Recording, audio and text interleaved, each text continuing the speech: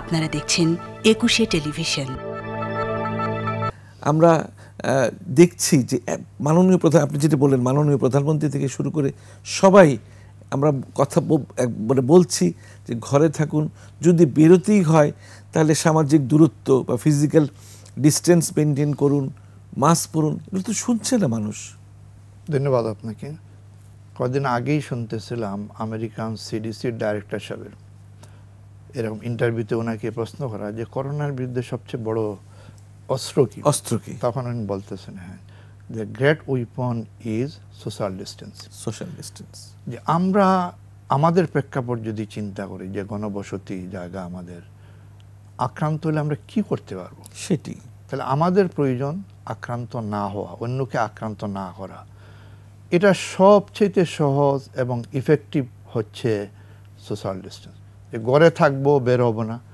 একান্ত বের হতে হলে মাস্ক ছাড়া বের হব না। এবং সিঙ্গাপুর একটা ল করেছে যে মানে দুই দিন আগের কথা যে যদি মাস্ক ছাড়া কেউ বের হয় তাকে তিনশো ডলার জরিমানা। হ্যাঁ এই সবই মানুষকে বোঝানোর জন্য এটা ইমার্জেন্সি সেটি তা আমরা যদি এটুকু বুঝি যে ভাই আমাদের আক্রান্ত হলে কি তেমন কিছু করতে পারব না? কিছু তাহলে উচিত আক্রান্ত না হওয়া। সেটি আমি যদি একটা ছোট এক্সাম্পল দেই যে একটা জায়গায় আগুন লাগছে অল্প জায়গাটায় বস্তিতে।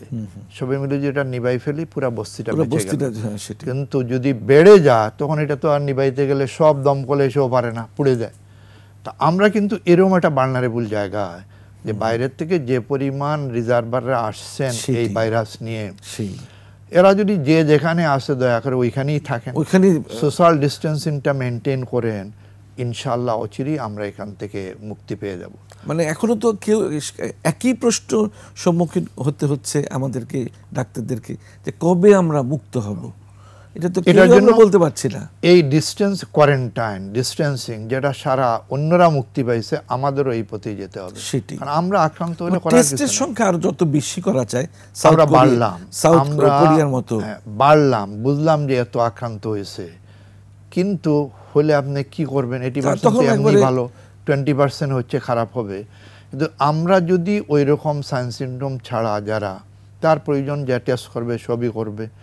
কিন্তু এটুকু যদি বলি যে না আমি বের হব না আগুন লাগছে আমি এখন বের হব না। সেটি। আগুন নিবাইতে হবে। আগুন নিবানো মানে যেখানে আসি এখানে থাকি বের হব না অন্যকে আমি আক্রান্ত করব না। সেটি। তাহলে আগুন নিভে যাবে।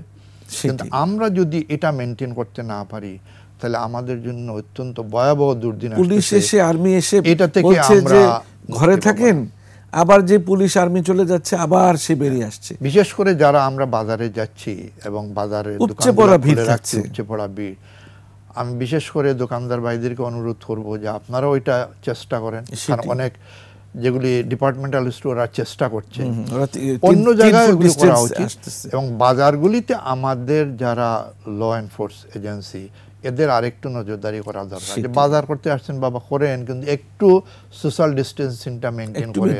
কারণ এক উহানের একজন দিয়ে আজকে লক্ষ মানুষের প্রাণ গেল। একজনই তো আক্রান্ত। সেখান থেকে সারা দুনিয়া এখন সারা দুনিয়া লাখখানিক লক্ষাধিক দেড় লক্ষ লোক ইতিমধ্যে মারা গেছে। মারা যাচ্ছে এবং একজন দর্শক যুক্ত হয়েছেন আমাদের সাথে। দর্শকের সাথে একটা কথা বলিনি। হ্যালো দর্শক আপনার প্রশ্নটি করুন জি, আসসালামু আলাইকুম ওয়ালাইকুম আসসালাম। জি স্যার আমি সাইফুল দিনাজপুর থেকে বলছি আমার বয়স হচ্ছে পঁয়ত্রিশ বছর। জি সাইফুল বলুন। স্যার আমার শ্বাসকষ্ট আছে তো আমি প্রতিদিনই ফিজিক্যাল এক্সারসাইজ করি এক আহ, এক ঘণ্টা। আচ্ছা। সেক্ষেত্রে আমার কি কোনো সমস্যা হবে নাকি শ্বাসকষ্ট জনিত আপনি ফিজিক্যাল যে এই যে এক্সারসাইজ করছেন তাতে কি শ্বাসকষ্ট বেড়ে যাচ্ছে? ওটা বুঝতেছি না স্যার মানে বাড়তেছে না নর্মাল ওইরকমই আছে। আচ্ছা তাহলে আপনি আমার মনে হয় এটার ঘাবড়ানোর কিছু নাই। আপনি এক্সারসাইজ করার আগে দুই পাপ যদি সালবুটামল নিয়ে নেন তাহলে শ্বাসকষ্টটা আরও কম থাকবে। এবং আমরা শ্বাসকষ্টের যে অনেক অনুষ্ঠান করি যেগুলি বলি সেগুলো আপনাকে ফলো করতে হবে। এখানে আমার মনে হয় যে করোনা সংশ্লিষ্ট সমস্যা নেই।